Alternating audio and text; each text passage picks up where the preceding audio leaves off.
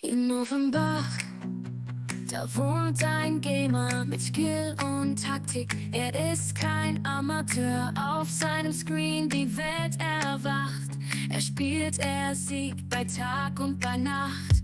Wir sind die Follower beim Offenbacher Gamer. Auf Twitch und YouTube,